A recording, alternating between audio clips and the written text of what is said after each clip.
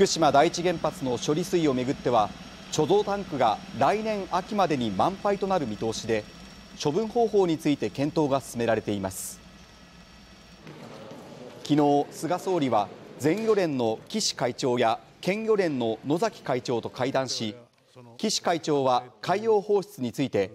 反対という考えはいささかも変わらないと改めて反対する考えを伝えました。従来ずっと反対しておりますしあのどのようなことがあってもやはり地元を中心にしたあの漁業の継続が我々の福島県漁業者の統一した意思でですのでそれを明確にしたいと思いました。しかしこの会談の後に菅総理は。本日の面談も含めてこれまでのご意見いただいてますからそうしたものを踏まえた上で近日中に判断をした。いいずれにしろ風評被害はあの最小限にする努力というのはこれは絶対に必要だと思います。菅総理はこのように話し近日中に処分方法を判断する考えを示しました。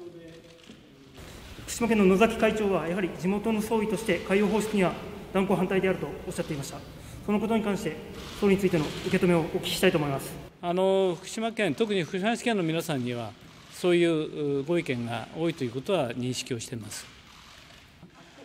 菅総理は反対の意見が県内に多いことは認識しながらも処分方法を決めていくと述べました。